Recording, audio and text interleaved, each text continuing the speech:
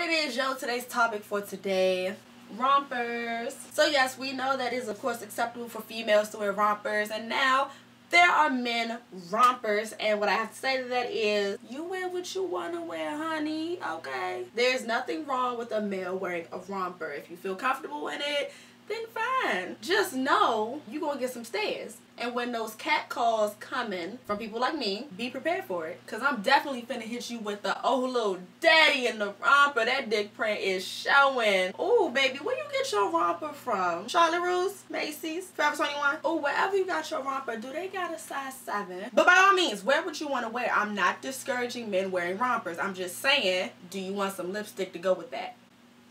More of the story, anybody, if you're going to wear something, be prepared for what people may have to say if they don't like it. Ladies, remember, breathe through your nose. And men, your bitch is ugly. Get it? Got it? Gucci. All right? Okay.